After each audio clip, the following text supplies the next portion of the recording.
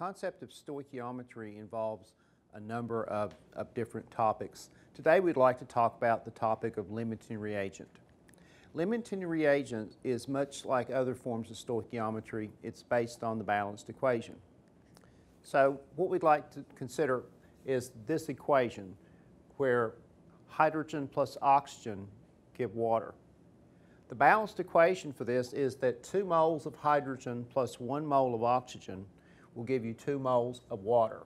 This establishes the ratio of the products and reactants. If we are given that we're starting with 2 moles of hydrogen and 2 moles of oxygen, it's important to know which of these would run out first in the process, and, and i.e. be your limiting reagent. So to do that, we base it on the ratio between the hydrogen and oxygen in the balanced equation. There are several ways you can do this, and I'd like to, to show you both ways. The first way is to take the, the quantity of hydrogen, 2 moles of hydrogen, and we're going to multiply that by the ratio of oxygen to hydrogen. And there is 1 mole of oxygen for every two moles of hydrogen. Remember that when you have a fraction of this type that hydrogens will cancel, you're left with oxygen. And what this tells us is that if you have two moles of hydrogen, you need one mole of oxygen to react with it. At this point, it's a simple matter of comparing the quantity of oxygen that you need with the quantity of oxygen that you have. Since you only need one mole of oxygen and there are two moles present, that means that oxygen will not be your limiting reagent. Let's look at this from the other perspective. Let's look at it from the oxygen perspective.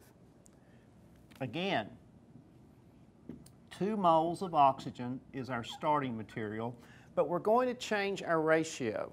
Now, we're going to say that we have 2 moles of hydrogen for every 1 mole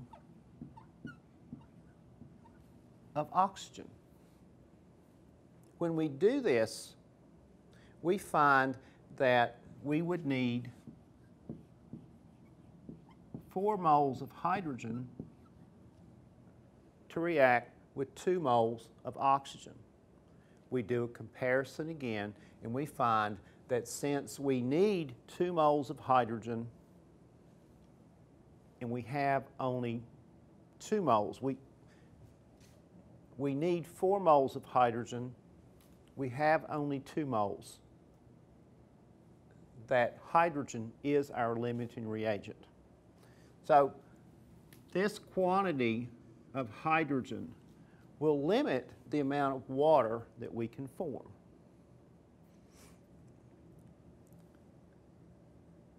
It is interesting to note that when you have a limiting reagent, the quantity of product, water, that we form can be calculated from that limiting reagent. And it's a simple matter to do we say that there's two moles of hydrogen. That's our starting point. That's our limiting reagent. Times two moles of water for every two moles of hydrogen. We're going to cancel here. And remember, we can also cancel these twos. That leaves us with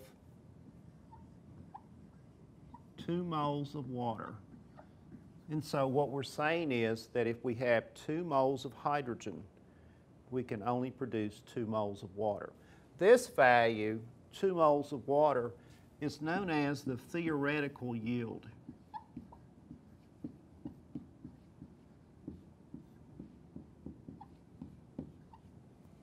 Theoretical yields. In other words, It tells you the maximum quantity of product that you can form from your limiting reagent. It's like if you bake cookies and the recipe calls for 36 cookies. Theoretically, you should only be able to make 36 cookies.